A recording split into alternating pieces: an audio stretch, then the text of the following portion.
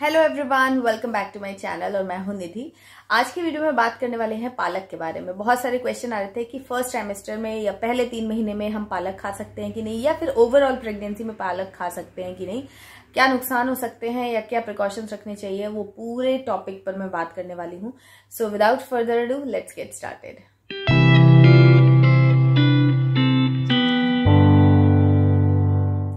guys पालक एक ऐसी चीज़ है जिसके अंदर बहुत सारा आयरन मिलता है और ये बात हम सबको पता है। उसके अलावा ये लीफी वेजिटेबल है तो इसके अंदर बहुत सारे और भी माइक्रो न्यूट्रिएंट्स मिलते हैं जो आपकी बॉडी के लिए बहुत इंपॉर्टेंट होते हैं। लेकिन जब आप प्रेगनेंसी की बात करते हैं तो प्रेगनेंसी में आपको फॉलिक एसिड की बहुत ज़्यादा ज़रूरत होती है specially starting one one two three months या बिफोर ट्राइंग फॉर प्रेगनेंसी तो उस टाइम पर आप अलग से एक सप्लीमेंट भी लेते हो फॉलिक एसिड का। लेकिन पालक में ये बहुत ज़्यादा हाई क्वांटिटी में अवेलेबल होता है। तो good source of iron and folic acid है ये स्पिनच uh, तो बहुत ज़्यादा ज़रूरी है कि आप इसे फ़र्स्ट ट्राइमेस्टर में पालक जो है वो कंज्यूम करें।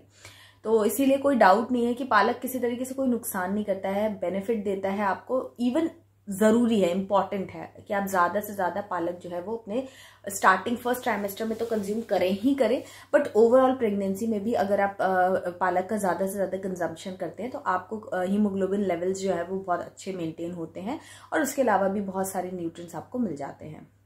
तो ये तो इंपॉर्टेंस की बात हो गई। लेकिन कभी कभी क्या होता है कि कई लोगों को ग्रीन लीफी वेजिटेबल या फिर पर्टिकुलर स्पिनेच इन सब चीज़ों से या तो एलर्जी होती है या फिर प्रेगनेंसी में उनको प्रॉब्लम होती है। कई बार प्रेगनेंसी में कोई चीज़ हमको नहीं अच्छी लगती, हम खाते हैं और हमें वो उससे हमारा मन खराब होता है वॉमिट मॉर्निंग सिकनेस इस टाइप की कुछ प्रॉब्लम जो है वो ट्रिगर होती है।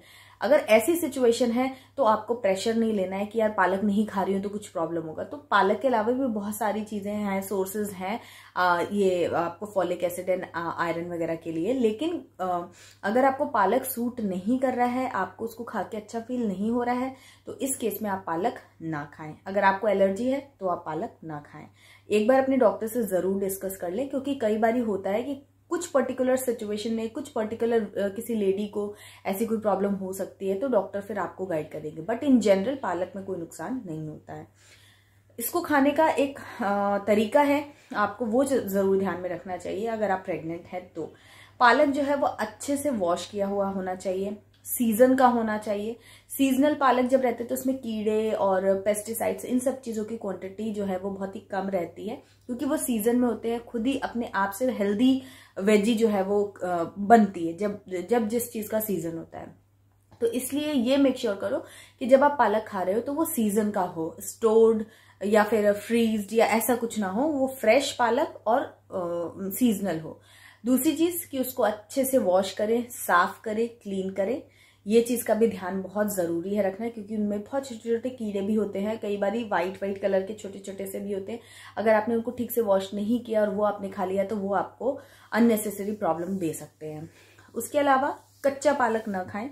अच्छे से उसको बॉईल कर लें, उसके पराठे, सब्ज़ी, जो भी फॉर्म में आपको उसको खाना हो, आप खा सकते हो। बट उसको अच्छे से पका करके ही खाएँ। कच्चा पालक ना खाएँ, क्योंकि कच्ची चीज़ें जो है, एक तो हैवी टू डाइजेस्ट होती हैं प्रेगनेंसी के टाइम पर।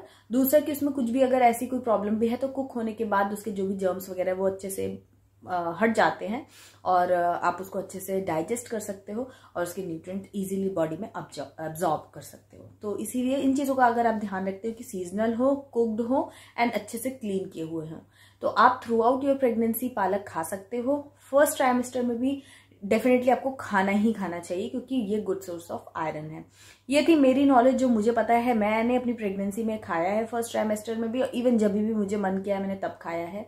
और मेरे डॉक्टर ने मुझे ऐसा कुछ मना नहीं किया था कि मत खाना। तो ये मेरा पर्सनल एक्सपीरियंस है, जो मैंने आपसे शेयर किया। बट फिर भी अगर आपको कोई भी डाउट होता है तो सबसे बेस्ट एडवाइस जो है, वो आपको डॉक्टर ही देते हैं। कन्फर्मेशन आपको डॉक्टर ही देते हैं। तो आप एक बार उनसे पूछ करके चीज़ों को फॉलो कर सकते हैं। ये वीडियो अगर आपको हेल्प किया, अगर आपको पसंद आया तो लाइक कॉमेंट और शेयर ज़रूर कीजिएगा।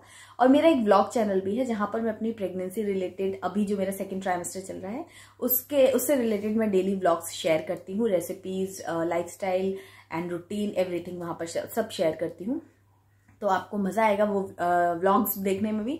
तो मेरा वो चैनल ज़रूर विज़िट कीजिएगा। लिंक्स आपको डिस्क्रिप्शन बॉक्स में मिल जाएँगे। और ये चैनल भी ज़रूर सब्सक्राइब करके बेल आइकन प्रेस कीजिएगा। आप ऑल नोटिफिकेशन सेलेक्ट कीजिएगा। एंड इंस्टाग्राम पर मुझे फॉलो करना बिल्कुल मत भूलिए। मैं मिलती हूँ आपसे एक नए वीडियो में। तब तक के लिए बाय एंड टेक केयर